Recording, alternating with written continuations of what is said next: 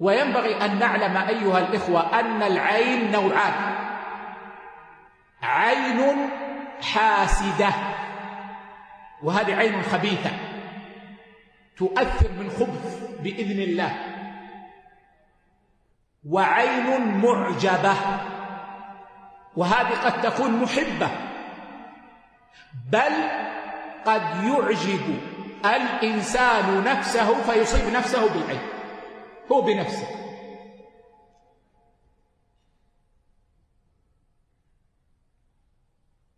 فينبغي التنبه لهذا. لأن بعض الناس إذا قلت له برك على أخيك قالوا هل تراني حاسدا؟ لا ما يلزم. قد تكون محبا معجبا. فتصيبه بالعين أو تصيب نفسك أو تصيب ولدك بالعين